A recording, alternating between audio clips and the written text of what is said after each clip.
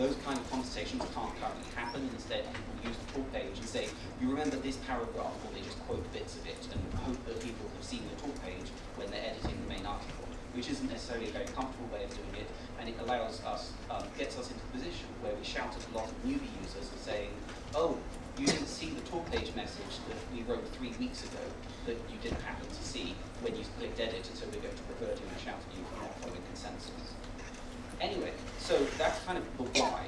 In terms of the what, so we developed um, uh, Visual Editor so far over a really long period. So the actual discussions about we should have a visual editor, or should we, started all the way back in about 2003 or 4.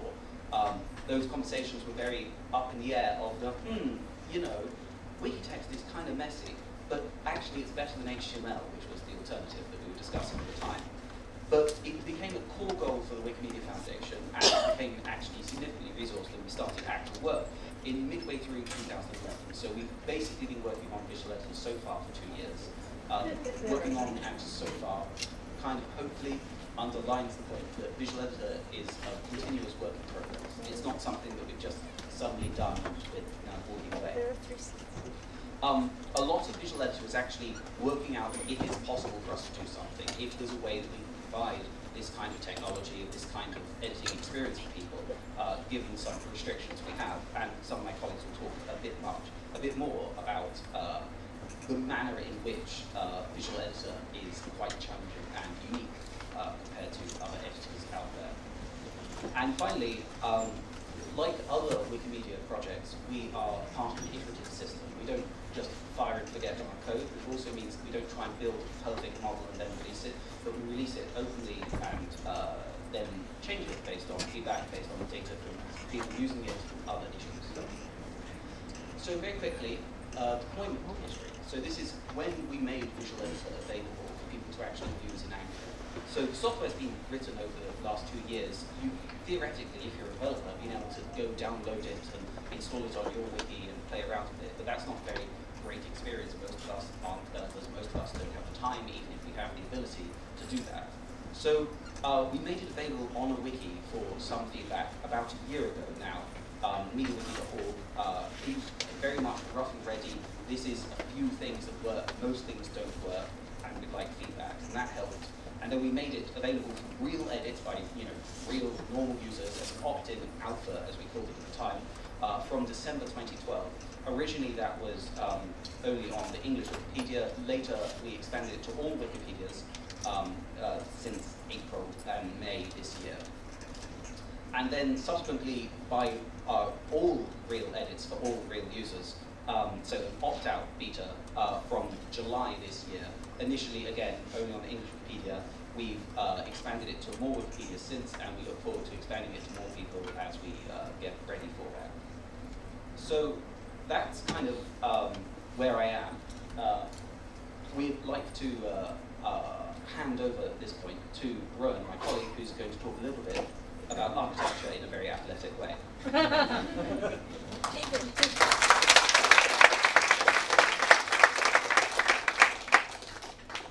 That's about as athletic as it's going to get. Um, so I'm going to give a bit of a sort of higher level overview of how Visual Editor works and what the various pieces are and how they fit And then we'll have some of my other coworkers down here come up and talk about the individual pieces in a little more detail. So um, Visual Editor itself is a, an editor entirely in JavaScript. It runs entirely on the client, so it runs entirely in your browser, and it is an HTML editor. Note that it is not a Wikitext editor, it is an HTML editor. Um, specifically, what we use it for is to edit HTML um, enriched with RUK.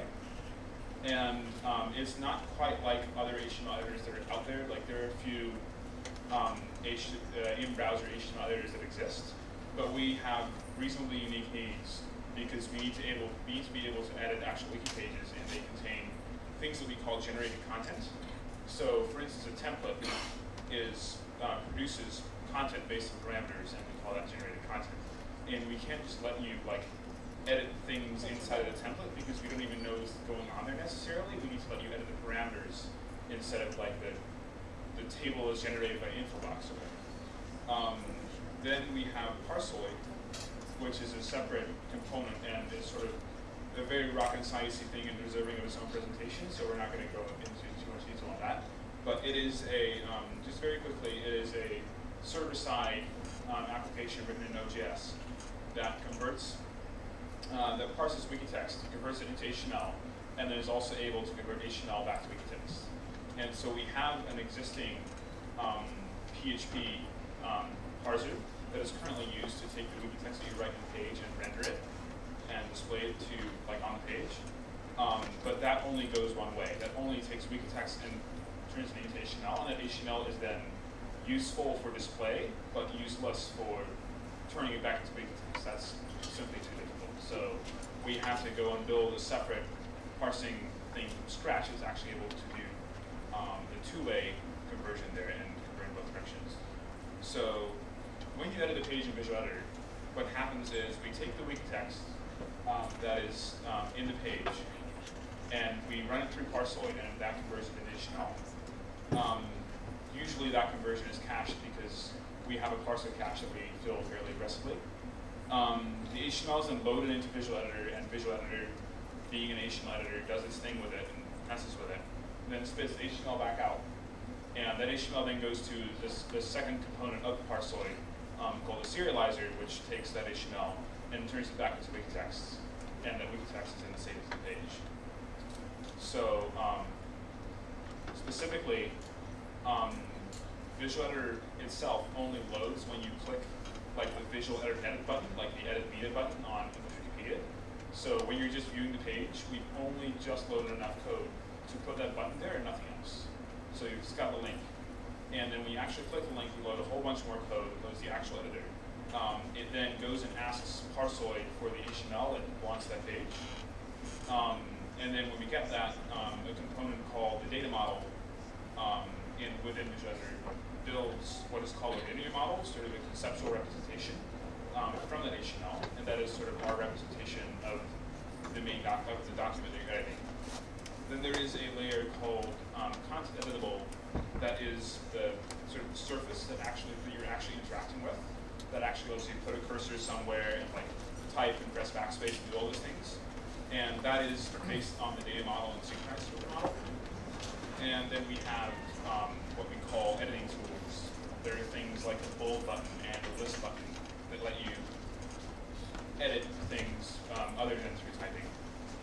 Um, and then finally, um, the glue code between MediaWiki and uh, Visual Editor provides you a way to provides you with a way to save, and that that takes the that scoops up the data model, turns it back to HTML, um, sends that back to Parsoid, which turns it back into Wikitext, and saves the page. So, as a diagram, it looks like this. Um, we have Parsoid HTML that we received from Parsoid. Um, it is that is sort of turned into a linear model in the, in the data model called VE DM. Um, that then interacts in two directions with the with the rendering layer, um, because we take the data model and render it in uh, in in CE. But we also let you type there and um, and change things, and so that goes back into the data model because you just change something. And then the, the various toolbar buttons and all that stuff is in the GUI layer, for user interface, and that also goes and changes the data model. Um, Editor is designed to be very flexible modular, and um, we've actually implemented like pretty much everything as like a plugin. So even like the very first part, like a paragraph or a heading, is implemented um, the same way that you would. Um, that makes it very easy to sort of like extend or replace existing things that were already built. Um, and you can do these things even if you are in like a user script or a gadget on the wiki. Um, you can you can write code that hooks into Visual Editor and adds new things or replaces things. And of course, we're always looking forward to new creative ways people might come up with to expand Visual Editor to editing new sorts of new, new concepts of content for new users, like uh, like Proofread Page, for instance, which has its different editing concepts, um, or new platforms entirely, like WordPress, because Visual Editor is an HTML editor. It's not tied to Wikitext at all. So if you wrote an equivalent parser of WordPress, you could edit WordPress with Visual Editor, which would be awesome. So at this point, I'm going to hand, hand it over to Ed, who's going to talk a bit about the data model layer, and then we're going to have some other people come up and talk about sort of the of the, of the system.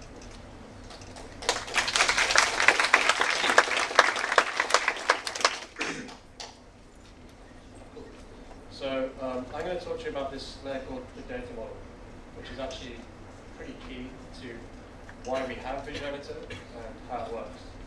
Um, one of the main questions we get asked is, you know, uh, why don't we just use an off-the-shelf HTML editor? Um, and a lot of uh, content that comes back from Wikitext would be like a, a template which renders a whole uh, table like an info box. Now, if we just let you go in and edit that table and delete whole rows, move stuff around, then uh, we wouldn't know how to convert that back into template syntax.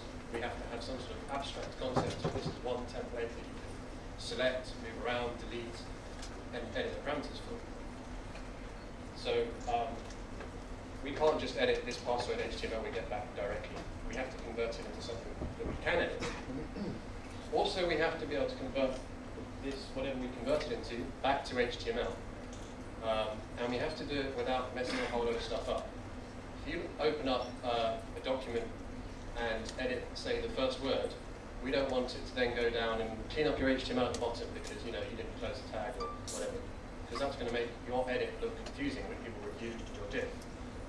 Um, the other thing this data model needs to do is synchronize with the content editor, which Roan showed in his diagram earlier. We had uh, the middle box, which is the data model, and then the content the right. Uh, so the content editable is, you know, you place your cursor and you start typing. When that happens, we need to update the data model so that it reflects what you've just typed.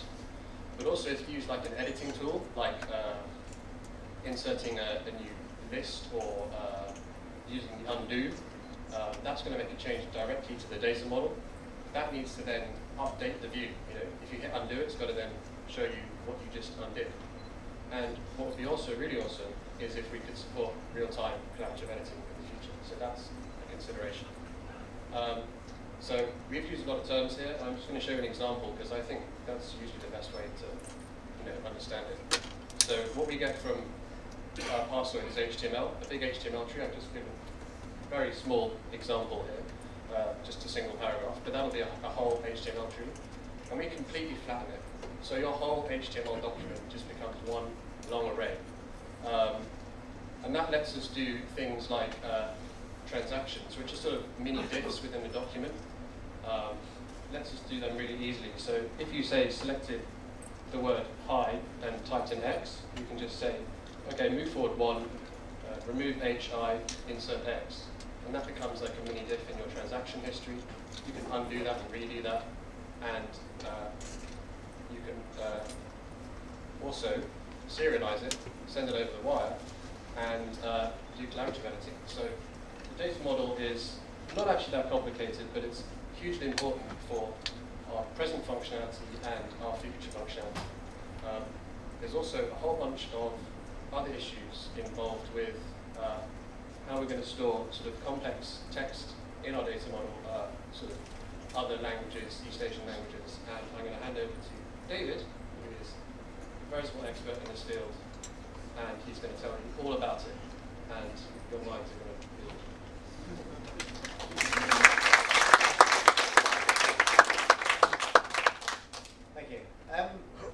so uh, um, language support. What's different about language support from general software engineering?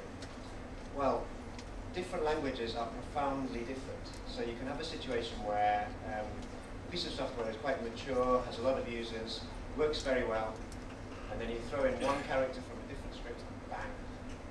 Um, I had a good example myself. I have a UK bank account. Um, I made a bank transfer. I typed in a Cantonese character in the bank transfer. Was one of these special ones for a reason I'll explain later.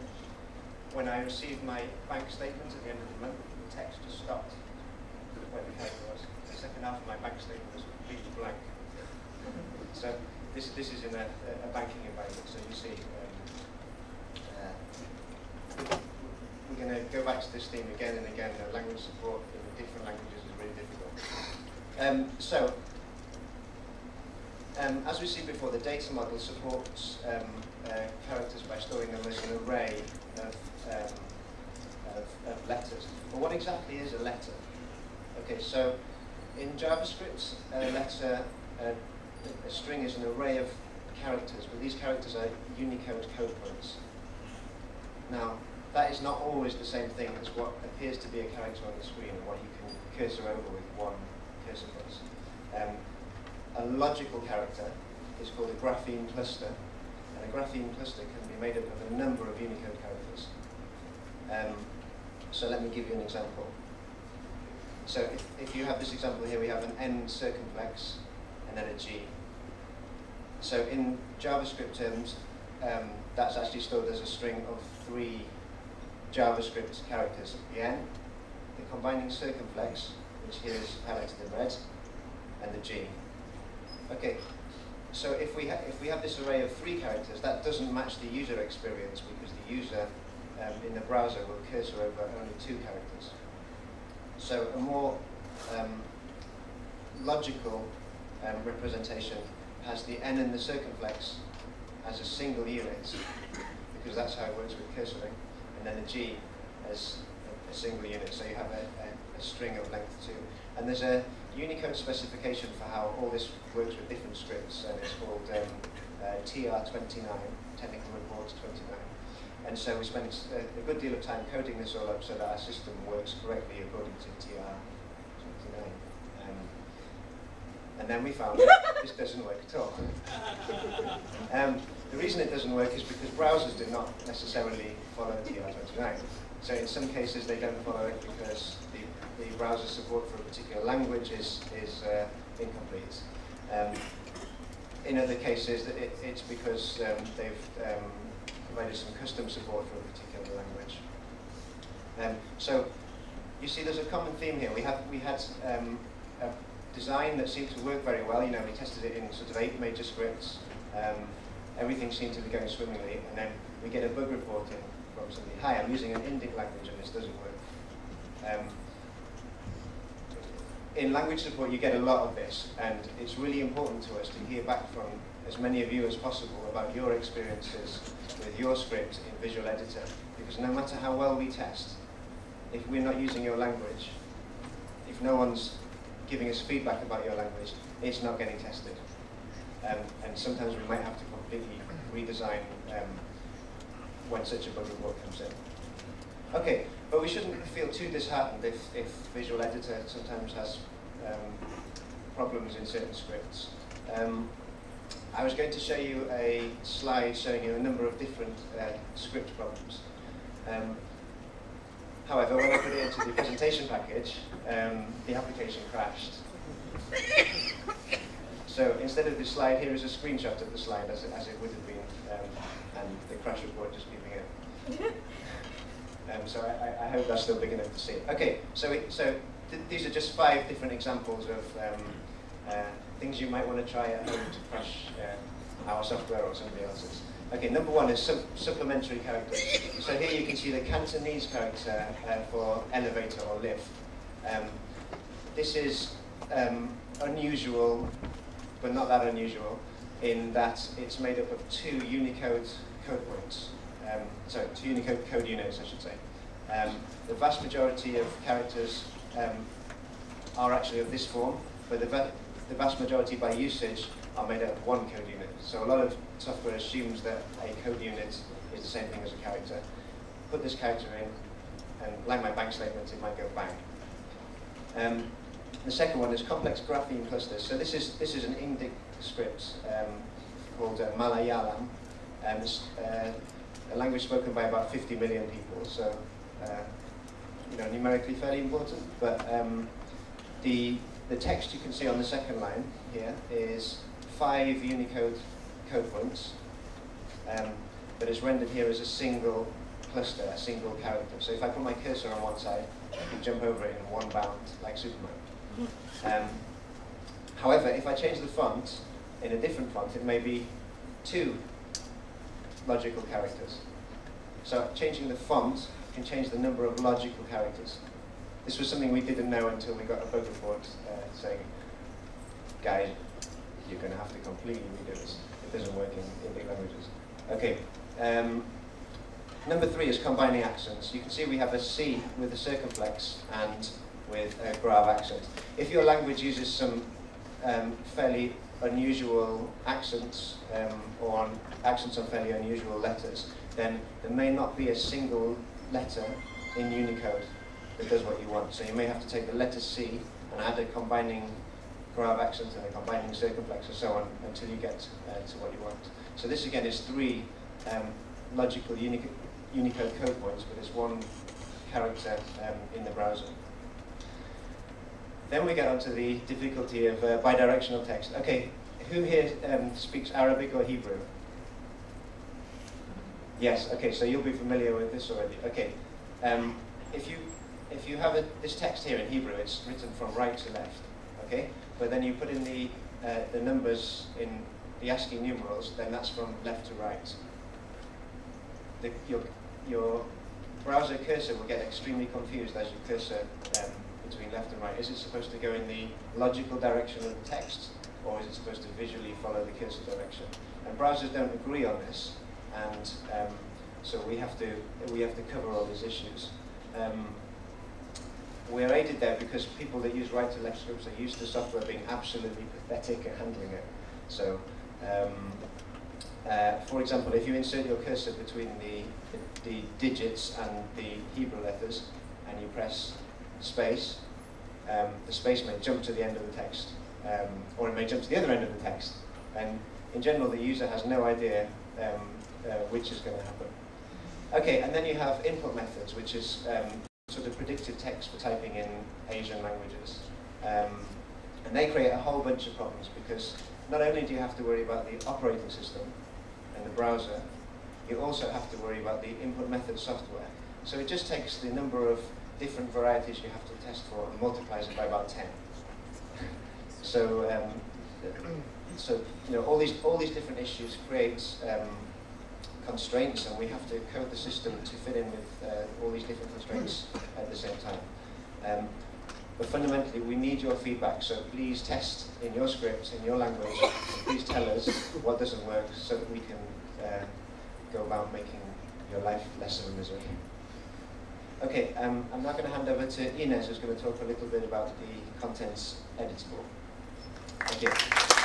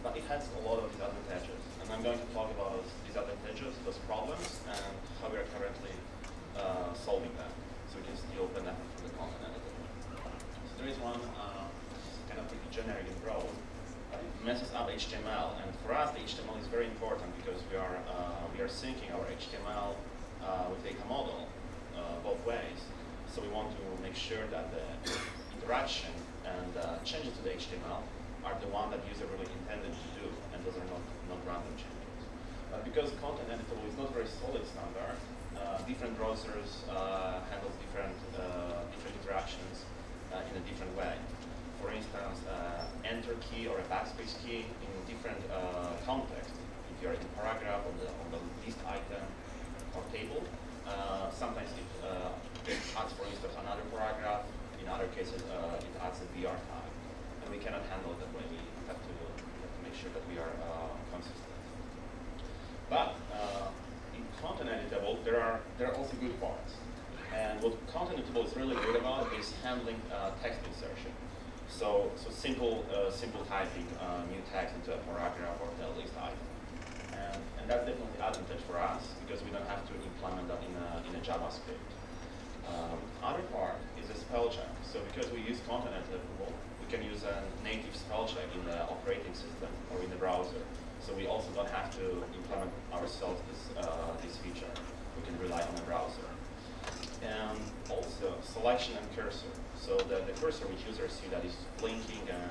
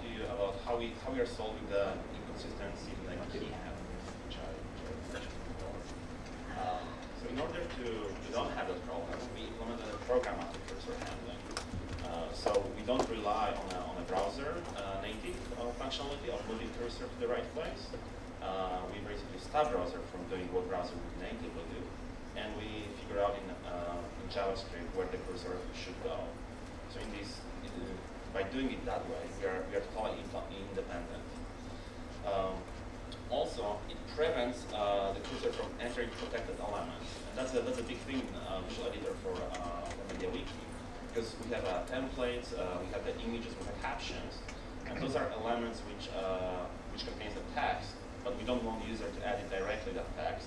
We want the user to edit parameters of the template, not the not the rendering, not the output of the template. Uh, and the same exact reason applies to, to images.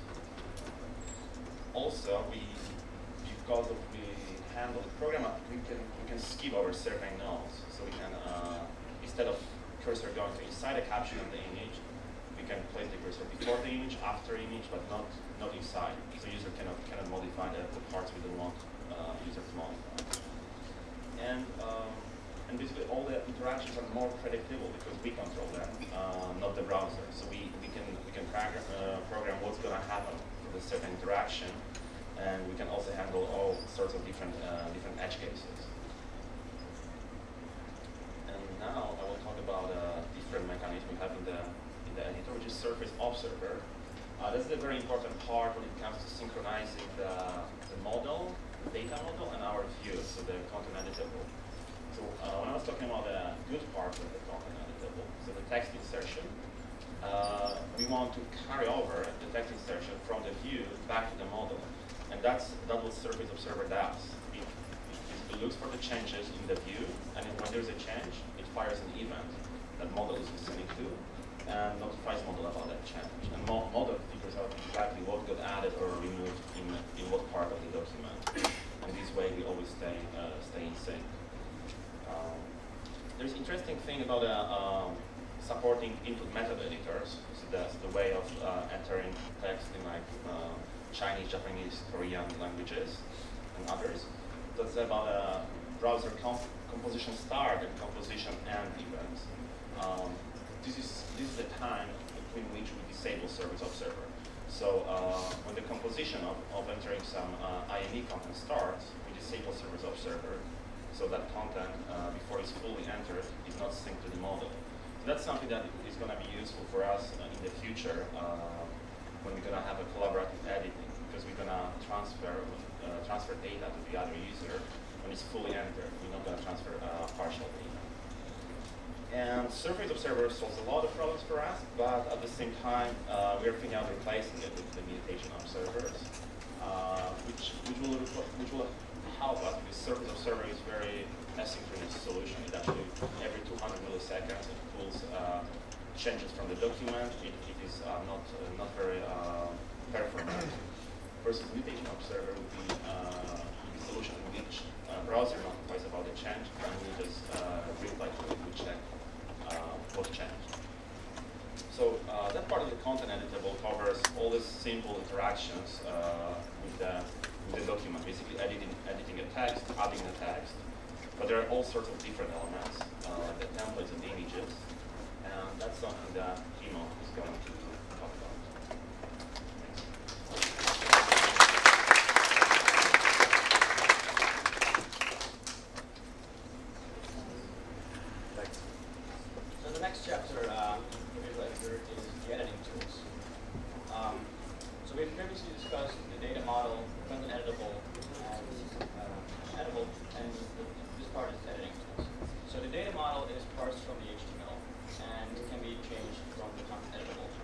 syncs to the data model, the editing tools actually work the other way around.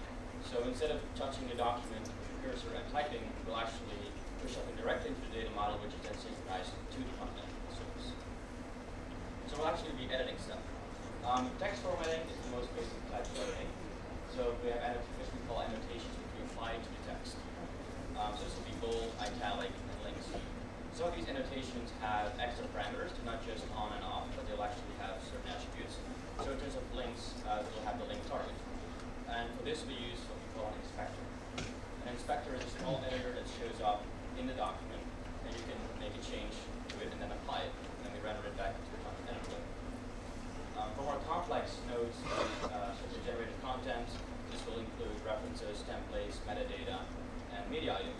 and in this case, this is the case where Web Editor is really unique. Um, as we did discuss previously, uh. So as Inez uh, discussed previously, um, it's very important that the user doesn't get into what we call a protected node. Um, so when we render a template and it right, re- renders some labels, they shouldn't be able to change the labels because those are part of the template. They're not part of our actual document. So it's a very um, generic kind of interface that we allow for to protect a node and then have a special interface to it, um, which we call dialogues. I'll be getting into those in just a second. So the current and future tools that we have is bold, italic, links, lists, in and out dented lists. Um, those currently work and are uh, live. Uh, so each of those um, is what we call an editing tool. You can turn it off and off, and some of these have an inspector so just link to edit certain attributes. The ones that we're currently working on are um, language, so you can change um, what language the certain text is rendered in, uh, which is very important for like right to left languages, as well as for accessibility reasons uh, for the for the readers of the articles. Um, underline, strike through, superscript, and in out in, out in paragraphs. So for dialogues, there's a lot of different types of generated content that we need to edit through a dialogue. So in, in those cases, we'll actually like dim the edit surface and give you a dialogue to a dedicated um, interface to edit this particular part of the document. Um, so in transclusion editing, we'll open the template, the what we call template data, which has been rolled out recently and um, getting more traction. So I also encourage you to uh, look into that if you're doing a lot of template editing to make it easier for you to edit your template and use your template um, with these template data. Uh, references, references list editing. So we've also recently implemented um, a feature for the citation extension where uh, references have a certain name and being reused. Uh, previously that was a little buggy and that now works as expected. Uh, references list, there can be more than one list in an article. There's all these lovely little features. Um, and of course, page settings. Uh, this is anything that's not rendered directly in the article, but is part of the wiki text. So this is categories, default sort keys, language links, and things like that. Extract those out of the visual uh, visualization in the service and give you a dedicated dialog to edit those. Uh, and thanks to Parsoid and serialization and partial serialization, those will remain in the same part of the document, so we don't pull them out and put them at the bottom unless you actually change them. insert them. Uh, media insertion and settings, we now have um, uh, searching for comments in the local and the remote wikis. Um, and the ones that are coming up soon are uh, syntax highlighter, so you can have an inline editor for code examples. Um, syntax highlighting even in the editor itself, not just when you save it, very important. Um, math, so this will be using MathJax and uh, LaTeX and things like that, which is very important. Um, hieroglyphs, and last but not least, tables. We already have limited support for uh, tables, but this will actually allow you to do more sophisticated editing of tables. So in all of this, usability is very important. Um, editing tools are a critical component to Visual Editor.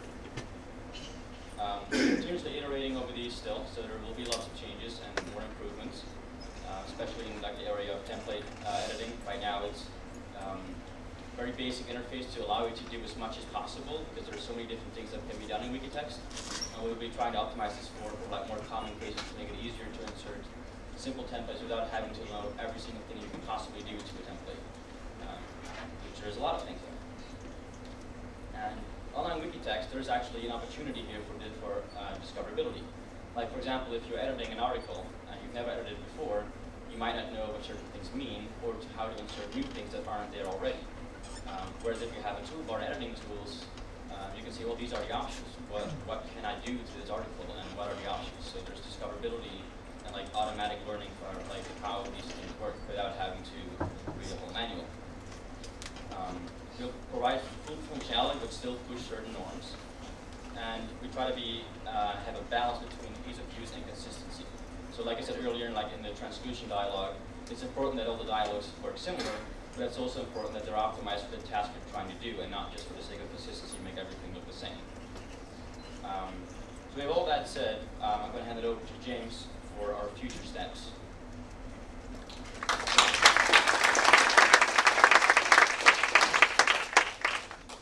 Okay, so this is a very, very brief mention of the word future, because of course visual editor isn't something static that's done, it's actually coming along. So very quickly, um, our primary focus right now is stability.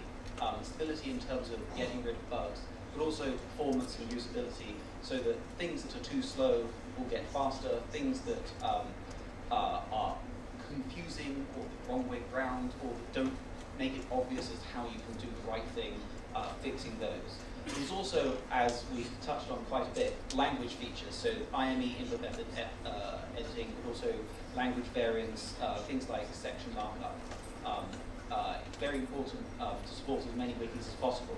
Because one thing we don't want to do is to get a year down the track and then say, congratulations, we've now got it available in Chinese, and then find that we have to delete everything and start again.